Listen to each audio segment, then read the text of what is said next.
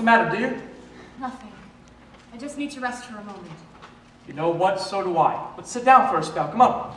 On the steps of City Hall? That's illegal. Well, that'll be my first act as mayor. To make it legal for all elected officials with beautiful wives to rest on the steps of City Hall as long as I'm in office. How's that? Thank you very much, Mr. Barnum. You're entirely welcome, Mrs. Barnum. Impressive place, isn't it? The most respectable building I've ever seen. And it belongs to you now. You know, Chairy, looking at you here in the dark reminds me of that first night we met in that thunderstorm. And I know you were scared, but I kept wishing there'd be more lightning so I could see your face. And I'd shut my eyes every time the lightning did flash. So I didn't get a good look at you until we were standing at the altar. And by then it was too late. now, Taylor, people are going to think we're foolish. Why? Two old folks sitting on these steps in the middle of the night holding hands? Who says we're old? I may have a few gray hairs and some laugh lines, but you don't look a day older than that first night we met. I thought you were through with humbug. 22 or 3 the most, and that's the least humbugging thing I've said in my life. You're going to be wonderful in politics. Of course, I don't expect you to be mayor for more than one term. I've already got my eye on a Senate seat. And not the state Senate either. Chairy, you're talking about Washington. Head says you can do it, Taylor. Chairy, running for the U.S. Senate is nothing you toss a coin on. That takes pondering and considering and some contemplating and, and, and how come in 25 years of tossing that coin, it has not once come up tails?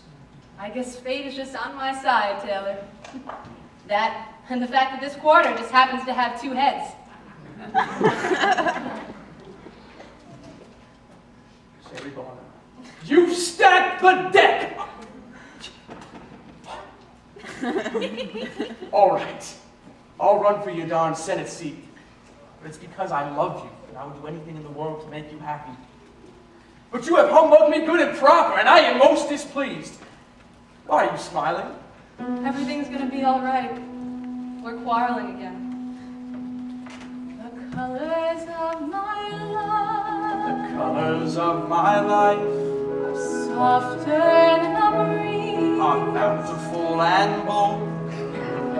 Blow of indigo, Silver gray of the green of green and the dappled green of trees, the splendor of a sunrise,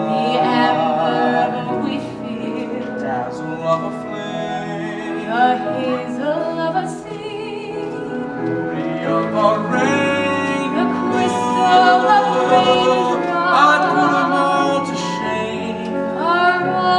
lovely knee browns and reds are much too mold I'll take my days instead. In gold I find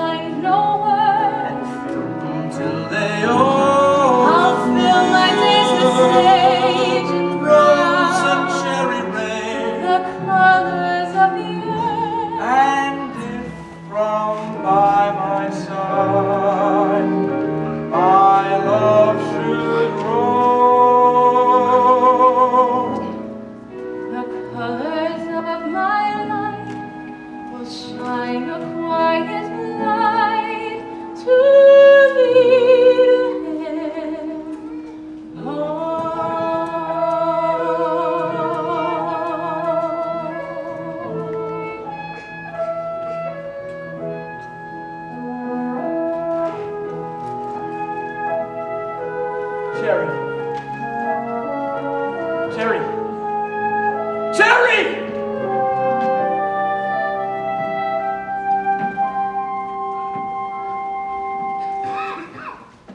Mr. Barnum, on behalf of the party, may I say how sorry we are about your wife's death.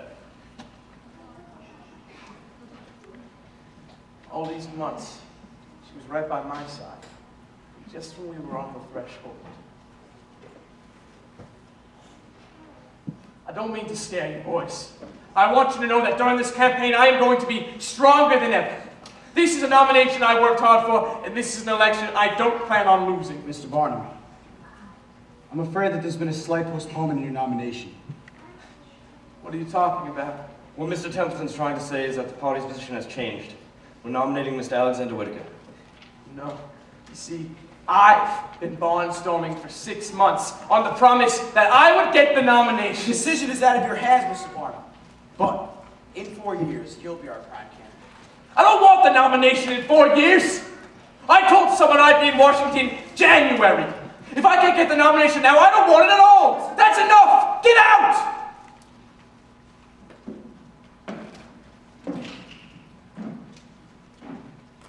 They took me, Chairy. They got me with a lie worse than any I've ever done. 30